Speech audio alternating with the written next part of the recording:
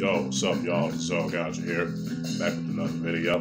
Today, I want to talk about the concept of deconstructing, especially in fictional stories. So, you know, now, off the bat, now, the concept ain't bad on paper. It all depends on the execution, which is something that a lot of the uh, writers and creators in the West and the mainstream West entertainment industry lack these days and not to mention they tend to overuse it to a point where people get sick of it. Now, for me, I'm not as annoyed with it as other people, but that's just me, though. But anyway, again, and also.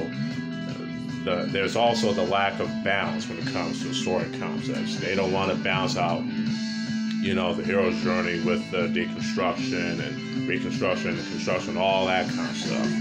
And that's what's lacking, you know, is the balance and variety in the story concepts, you know, especially with in the American comic book industry, you know what I'm saying? Like in Marvel and DC, the mainstream, big the big two, you know what I'm saying?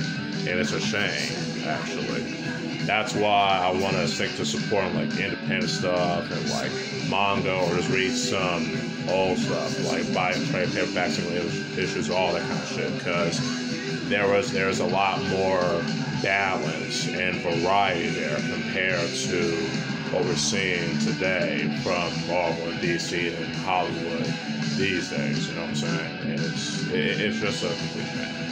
Uh, whereas the mangaka and like the independent creators, they have that balance of story concept and storytelling. So overall, you know, balance and variety are the key, and having good writers that actually care for the medium. So that's all I gotta say. This is Oaghaji signing out. Peace.